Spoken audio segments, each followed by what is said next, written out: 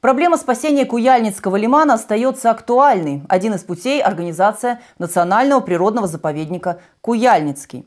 Проект существует только на бумаге, и не все специалисты с ним согласны. Пока идут споры, лиман, а с ним и курорт могут исчезнуть.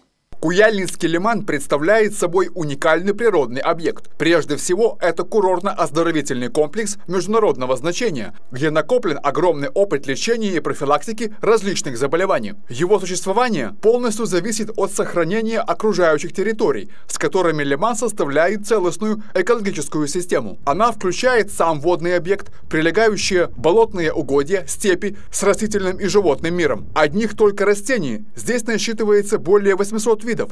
43 из них внесены в европейский красный список. На берегах гнездится множество редких птиц. Предложения по сохранению экосистемы изложены в проекте Национального природного парка Куяльницкий.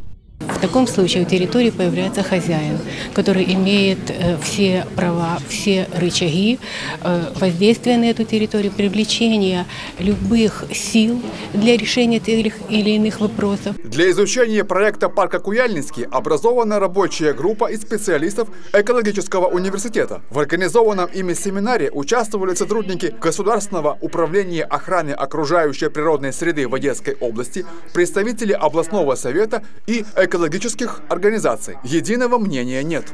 Создание национального природного парка переводит его э, из статуса курорта в статус э, рекреационной территории.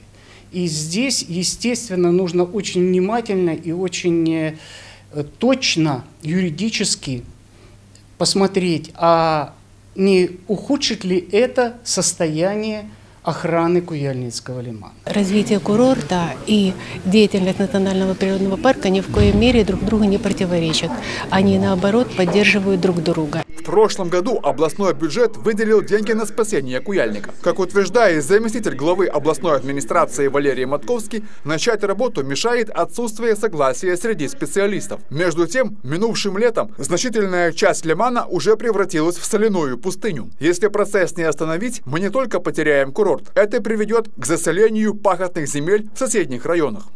Облако соляное над лиманом было, то это я видел сам, это действительно так. Поэтому если на сегодняшний день не решить проблему с наполнением воды, то надо думать о том, что будет с землями, прилегающими непосредственно к лиману.